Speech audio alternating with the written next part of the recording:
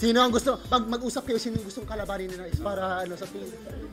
Ay, Si ano, wala namang anong pangalan dito. Ba, si Kulin ba gusto nyo kalaban? ay! Ay, si Kulin. Go, Kulin. Ay. Ayan na, ayan na. Oh. Okay, iwan mo na yung mic dito. Battle pose, Battle go! pose, go! Ay! Oh, battle pose, battle pose. Oy! Ay, na-retain yung pose na yun ni Colleen, ha?